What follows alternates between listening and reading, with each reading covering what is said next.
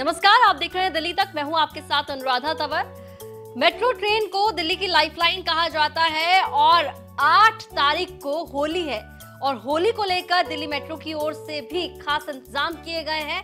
आप जानते हैं कि 8 तारीख को, यानी कि 8 मार्च को देश भर में होली मनाई जाएगी। दिल्ली में भी होली जो है 8 मार्च को ही मनाई जाएगी। ऐसे में मेट्रो के समय में काफ़ी तब्दीली की गई है।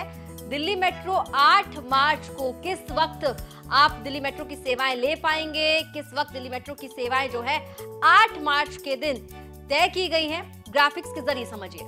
तो डीएमआरसी की ओर से जानकारी सामने आई है कि 8 मार्च को दिल्ली मेट्रो की जो सेवाएँ हैं, वो ढाई बजे तक अवेलेबल नहीं रहेंगी।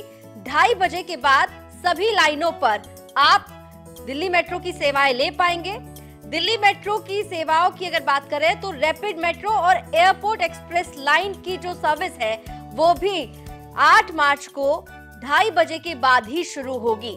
यानी कि ढाई बजे तक दिल्ली मेट्रो की किसी भी लाइन पर कोई भी ट्रेन आप नहीं ले पाएँगे, कोई भी लाइन पर मेट्रो अवेलेबल नहीं रहेगी।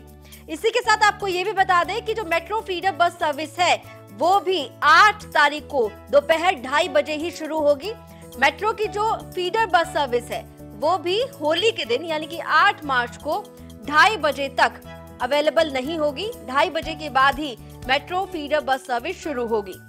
तो 8 मार्च को होली के दिन मेट्रो की जो सर्विसेज़ हैं, वो दोपहर ढाई बजे से शुरू होगी। और इसके तहत आपको ये भी बता दें कि न सिर्फ़ मेट्रो की जो येलो लाइन ब्लू लाइन है या वॉयलेट लाइन है, बल्कि जो रैपिड मेट्रो है और एयरपोर्ट एक्सप्रेस की जो सर्विस है, वो भी दोपहर ढाई बजे से शुरू होगी और साथ ही जो फीडर बस सर्विस है मेट्रो की, उसकी सेवाएँ भी ढाई बजे के बाद ही शुरू होंगी। ढाई बजे से पहले आपको मेट्रो की सर्विसेज़ नहीं मिल पाएँगी। अगर आप होली के दिन कहीं जाने का प्लान कर रहे हैं मेट्रो के ज़रिए तो आपको मेट्रो की सर्विसेज़ ढाई बजे से पहले नहीं मिल पाएँगी। तो आप अपना प्लान जो है वो उसी के अकॉर्डिंग प्लान कीजिए कि किस तरीके से अगर आपको पब्लिक ट्रांसपोर्ट इस्तेमाल करना है तो मेट्रो की सर्विस आपको नहीं मिल पाएगी।